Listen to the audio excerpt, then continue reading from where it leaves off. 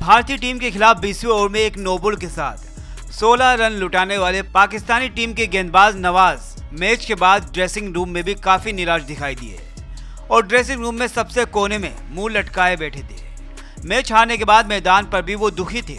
और अब पाकिस्तानी फैंस भी आखिरी ओवर में मैच हारने पर नवाज़ को ट्रोल कर रहे हैं। हालाँकि कप्तान बाबर आज़म ने मोहम्मद नवाज़ पर भरोसा जताया है। और किसी को भी नवाज़ पर उंगली उठाने से मना किया है।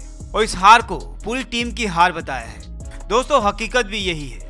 हर खिलाड़ी का एक दिन होता है और कई बार वो चलता है और कई बार नहीं चलता। जब कोई खिलाड़ी चलता है तो उसे हीरो बना दिया जाता है। और जब कोई नहीं चलता तो उसे ज़ीरो और ये चीज़ हर देश के खिलाड़ी के साथ आपको देखने को मिलती है। जब वो अच्छी गेंदबाजी करेगा या अच्छी बल्लेबाजी करेगा तो उसे हीरो बना दिया जाता है। और जब किसी दिन उसकी खराब परफॉर्मेंस रहती है तो उसे ट्रोल करना शुरू कर दिया जाता है। फैंस के इस तरह के बिहेवियर पर आप क्या कहेंगे?